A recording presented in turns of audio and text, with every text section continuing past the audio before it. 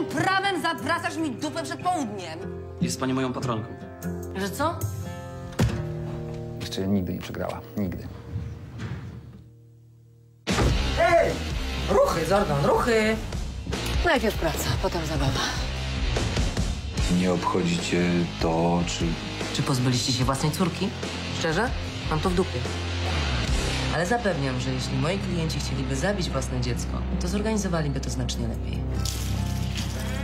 Trochę się w niej zabujałeś, co? Tyle? Panie mecenas,